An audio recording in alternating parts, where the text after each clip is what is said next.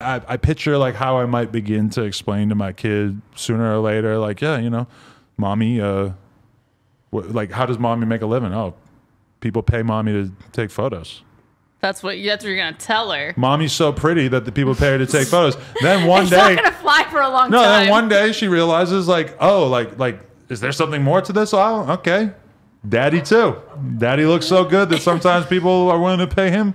You know, it's like it's a slow like initiation process of explaining it to him. But in the I end don't like result, that explanation. I just feel like you got to normalize it. Like yes, like you Oh, know, mommy and daddy do normal mommy and daddy stuff, and the, apparently we look so good doing it that there's people who want to pay them for it. Yeah, I definitely think there's something to say for like having being a sex worker and having a parent as a sex worker, and I mm. definitely feel like it will help shape that child to be a more already they're like getting destigmatized about porn and like sex work and everything like that. So I feel like they're already going to be a more open child, more open-minded child. I've used you as an example when people bring it up where I'm like, my kid is gonna. There's never gonna be a moment where they're like they're like shocked to find out that their mom had had sex on camera because they're this kid is gonna think that Riley Reid is just you know Aunt Riley Yeah. that they like a lot. Oh, she brings you toys and stuff, and it turns out that she does that too. Who It's cares? just like a normal job. I know all these Yeah. people who have this job.